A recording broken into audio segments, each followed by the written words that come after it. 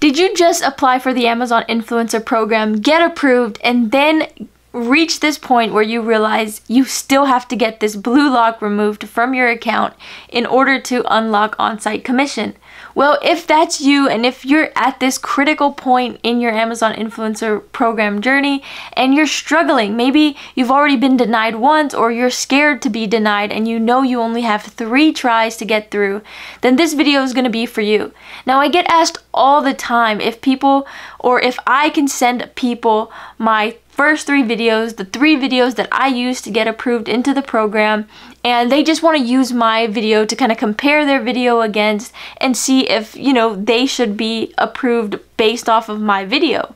Well, just a little side note, I did get approved back in February, so things have changed. Maybe Amazon has taken a different approach as to how they approve people into the program, how they remove the blue lock, and so many other factors. In the Amazon Influencer Program, Amazon is pretty vague about a lot of things, and this whole blue lock situation is another little vague area where there's not super concrete details on like what you need to do in order to be approved and you know what you need to do to get denied? Well, since I get asked this all the time, if you stay tuned to the end of this video, I am to attach my three videos here at the end so you can go and reference them whenever you want. Just make sure you keep in mind, like I said, that these videos are from February, so things may have changed. Now, also in this video, what I want to do is just talk to you guys and give you guys some tips on how you can get approved and hopefully get you approved on your first submission. Now, there are a lot of things to kind of take into consideration when making your first three videos, and you know, you can go about it a number of ways. There's not one right answer or one wrong answer, but as as long as you get approved, then you're good to go. So the very first thing I kind of want to talk about is when you're making these videos, try to make videos over products that don't have any other videos. Now my reason behind that is just because they won't have anything to compare your video to. And if there's no other people reviewing the product, they might just let you through so that your video can live on that product page and nobody else is reviewing the product anyway. So when you're picking your products, try to look for products that aren't competitive, that nobody else has made videos for, and your video would be the only one. Because, like I said, they won't compare it, there's nothing to compare it against, and they'll probably just go ahead and approve you if you meet all of the other qualifications. So that's my first tip. Another tip that I have for you is kind of common, a no-brainer. Just make sure you're following all of the Amazon guidelines. Make sure you're not talking about price. Make sure you're not giving health-related or medical-related information in your video. Just basically you want to spit the truth and fact. Don't give them your opinion. Don't say this will cure this. This, you know, helps with that. Just just tell it how it is. Tell the straight up facts, the straight up specifications, the straight up information as what's to included in the box or in the package, what you receive, um, what kind of batteries, how you turn it on, how you work the thing, how you build the thing. Just give that kind of information, the known facts. Don't go give a whole bunch of opinion because Amazon doesn't really like that. So as long as you're following the Amazon guidelines there and not saying anything that you're not supposed to include in your videos, then you should be good. I have another video where I discuss all of the guidelines so you can watch that if you need to, you know, learn about it in more detail. The third tip that I have for you to get approved on your first attempt would be to just make sure your video quality is good, your audio quality is good, and your background is good. Now, Amazon specifically stated, I don't know where I saw this, but they do not want a busy background. They don't want distractions. They don't want to hear other people in the background or kids crying or screaming or anything like that. Try to just make sure it's as quiet as possible with the best audio that you can capture as well as the best video that you can capture and try to go up against like a plain background or something that's not too distracting. I know mine can seem a little bit distracting, but because I'm so front centered in the camera and I like to hold my products up like right in front of the camera, I think that also helps. Now another little tip that I give people is instead of just showing yourself all the time, maybe give some up close video of the product, like some b-roll or some above angle shots at your product down below. Just try to show the product as best as possible because sometimes you may not even realize you're doing it, but you're like talking about a product and then you kind of like put it off to the side and you just continue talking. And when you're doing that, the viewer really can't see the product. They're not really getting the full grasp of the product that you're trying to showcase, you know? They're just listening to you talk and seeing you. So sometimes that may happen. Just try to show the product as much as you can because that's the main thing with these review videos. Tip number four, just try to keep these review videos as authentic as possible. You don't want to script them. You don't want to pay other people to do them for you. If you're awkward in front of the camera, just work on your presence. Get a little bit better before you submit your three videos. I say all of this because a lot of people are trying to pay me or pay others to do their videos for them. But I don't understand what the point is if once you're in, then you can't, you know, make good videos that Amazon will approve later. So just make sure that you're doing it all correctly to begin with. Just practice and you'll be good to go. Don't worry about how you sound. Don't worry about if you feel like you look weird. You will get used to it. 700 videos down the line, it's you're not going to worry about that one video that you did, you know, on the sunscreen where you had a pimple or something like that. You know, there's just so many videos you're making. These videos are not going to be shared. Nobody can repost them you're fine.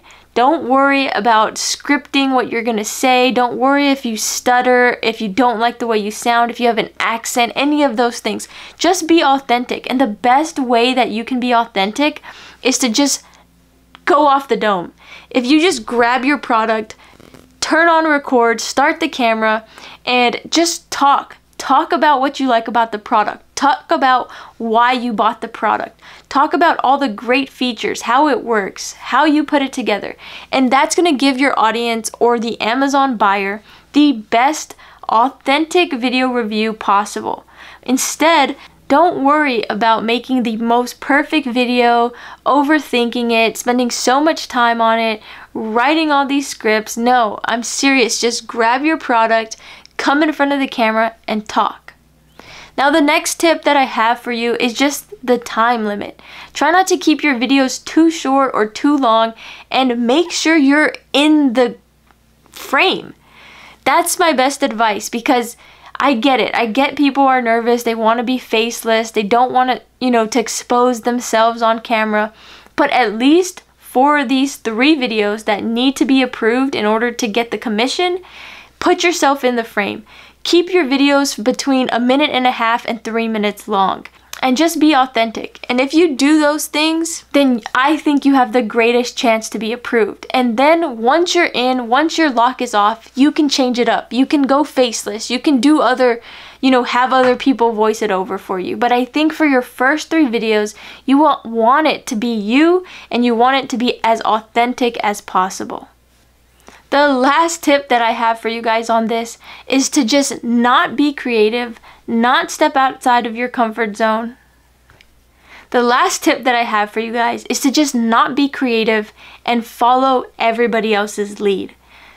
What I mean by that is that for your first three videos, you don't want to be unique and try to make your videos different from other people's because these three videos are just your three videos to get you into the program, to get you commissions to get your blue lock removed. Once that's done with, once your three videos have been looked at by Amazon and approved, go ahead, be creative, be unique, make all kinds of cool video reviews that you want. But for the first three, just, I'm serious, almost keep it simple, stupid type of thing.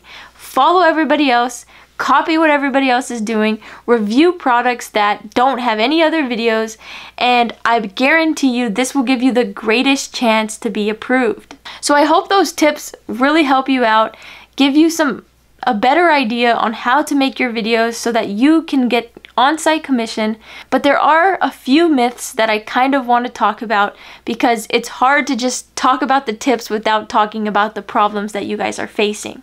So I talk to people all the time about the program and I always hear back from them on if they got approved or not. Now, some people are really concerned because their videos are perfect. You know, they're not saying anything wrong, they're not talking about price, their audio and video looks great, um, and the list goes on, right? So, a lot of people are concerned with the fact that Amazon might be approving you based on your social media account, based on your niche, based on the products that you're reviewing. And I really can't speak on this because I don't know the right or the wrong answers. But all I can say is that you just have to follow the instructions, follow Amazon's guidelines as best as you can, and just try to make these videos to where Amazon has no choice but to approve you. Don't put anything that's like controversial in your video. Nothing that like teeters on whether it should be approved or not. Like I said, copy other people's videos almost completely and don't try to be unique for these first three. Once you're in, go ahead and change it up. I do not see how Amazon is approving or declining your videos based on your social media. I just don't think they have time to go checking it out. And if so, I don't know why they wouldn't have just declined you into the program when they checked your social media to see if you could be an influencer or not. I don't see how that ties into the whole commission, unlocking your blue lock, and all that stuff. Then another thing is the fact that you only have three submissions, and some people are just submitting too quickly, not making enough changes, and then they before they know it, their three chances are out. So what I have to say on that is just take your time, slow down a little, and try to redo your videos completely. Don't just cut out a little segment that you think is the problem and then resubmit the video. My suggestion would be to just start from scratch. Create a whole new video after you've done some research and analyzed your video and create a new, you know, a whole new review to submit. You can use the same product but com- but create a whole new video and um, I think that will give you the better chance instead of, you know, just cutting out certain parts. And the last thing that I want to talk about is just that I do believe Amazon is making it a little bit harder to get into the program. I have seen where, you know, people become an influencer with just a few hundred subscribers or followers and they get into the program. And then I've seen where it takes more than that. Now, yeah, I think that Amazon is pretty flexible with who they're letting be an influencer, but then when it comes to the unlocking the blue lock and, you know, on-site commission, they're being a little bit more strict on the videos. So when you check out my videos here in just a little bit, they're not the greatest. They're not, you know, super detail oriented. I made this a few months ago before I was super comfortable in front of the camera. And so I don't know if those videos would still be approved today. But what I do know is that it is possible to get your blue lock removed and it's not as hard as you may think.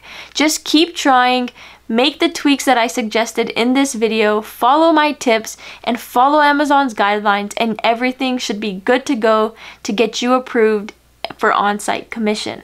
Now since you made it to the end of this video, I am going to play the three videos that I used to get into the program to get my blue lock removed and that's how I'm going to close out the video. So I hope this video helped you. Thank you guys so much. Make sure you like, follow, subscribe, turn on post notifications, and stick, stick around because I have a lot more tips and helpful hints that I want to give you guys to, to the Amazon Influencer Program. So y'all have a good one and enjoy the videos. Bye! This is the Sambucus elderberry hot drink mix. And this thing does wonders if you're feeling under the weather or you just feel a little sore throat coming on or just feel a little sickness coming on. You need to drink this right away and it helps stop you from getting extremely sick. I'm not even joking with you. And it also tastes really good. Everybody in my house likes it, from kids to adults to grandparents. The flavor is really good. This is flavored honey lemon berry and it, it's like a purplish drink when you when you make it. Now this box comes with 10 packets and each packet is one serving size. However, if you don't like things on the super sweet side, what we like to do is half the packet to create two cups of tea. Um, so it's not as sweet and also we just make it in like a small normal coffee mug. So with that, we just half the packets and then pour some hot water into it and it tastes amazing. Um, another thing that's great about these packets is it contains no gluten, dairy, soy, nuts, or artificial flavors. So this can really be drunk by anybody. Um, except I have found out that if you are pregnant, you should consult a doctor before drinking this tea. Um, but other than that, anybody can drink it, and it's super good. And this is what it looks like.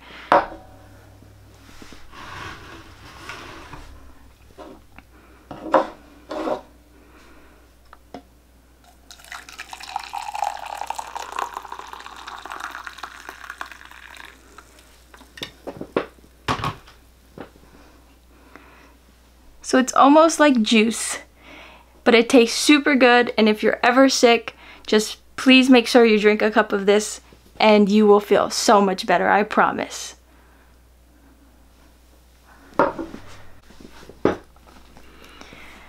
This review is over the KXF lined 720 page notebook.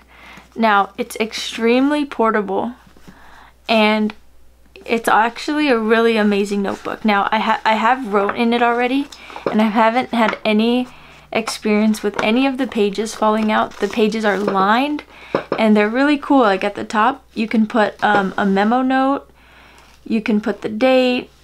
It's already pre-written out on there. Um, they are not numbered, which is okay for me. But I just really like this notebook because you don't have to get many notebooks throughout the year. It would take a long time for you to fill this notebook up. Like I said, it's 720 pages. I believe it is 6.7 inches tall by 5.1 inches wide and it's like a little over an inch and a half thick. So it's a really thick notebook, but it's pretty lightweight. I think it's only about like 1.6 pounds. And it's portable. You just throw it in your backpack and like I said, you don't have to worry about getting multiple notebooks throughout the year. This thing can fit everything. Now I have another notebook here to kind of compare it to. So it's like the standard um, notebook size and this is how thick it is and this is like kind of a size comparison for you. Right?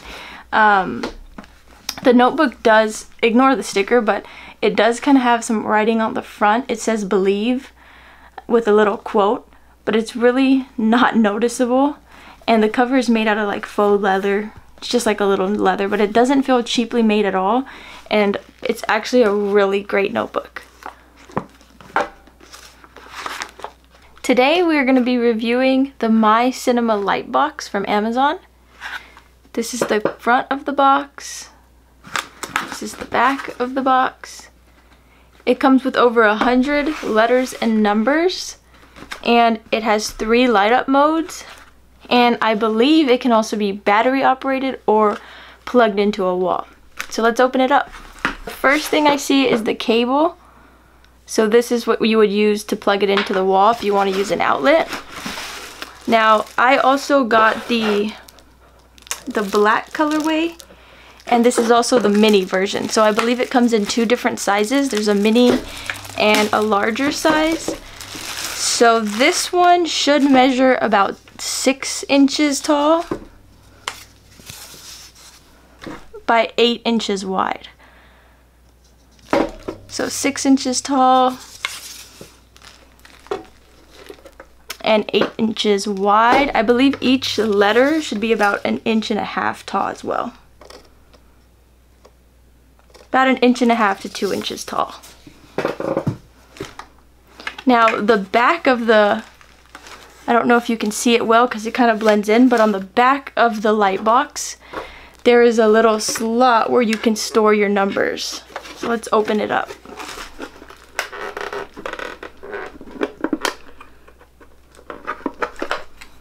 Yes, so there's a little compartment here where we can put all of our letters and numbers and store it. There's also two holes so that you can mount this on a wall. Here's a closer look at the front. And all the numbers come in a little baggy. Just like this.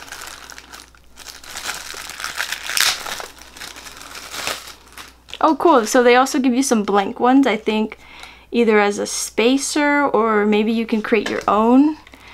And here are all the letters and numbers. So you kind of have to pop them out on your own. Now at first, I mean, it doesn't feel super cheapy, but it also doesn't feel super expensive. It's definitely made out of plastic. Now for the sake of uh, this demonstration, I'm gonna go ahead and put the batteries in so we can turn it on. So to do that, there's just a little compartment at the bottom. And let's see here. Oh, okay. So I don't have any AAA batteries, but it requires six AAA batteries across the bottom. Now, the letters just store in the little compartment here. So let's try to break them off. They just break off like this. Very cool. And I believe to put them on, you're just to slide it in like this.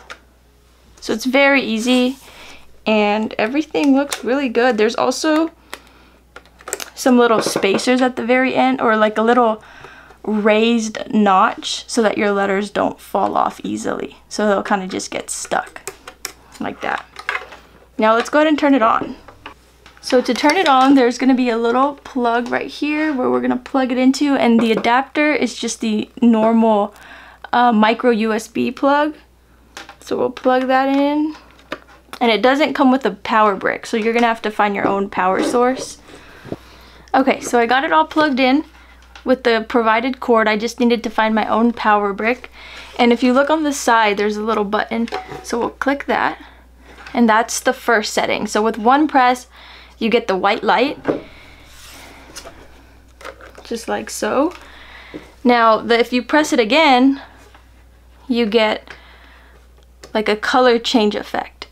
So I believe it's just gonna run through the colors like RGB and when you see a color that you like, you can click the button again and it'll pause it on that color.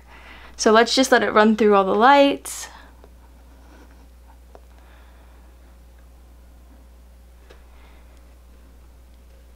And I know it's a little bit hard to see. It's not very bright in lighting, but let me see what happens if I turn off the lights. So that's what it looks like in a little bit darker of a setting.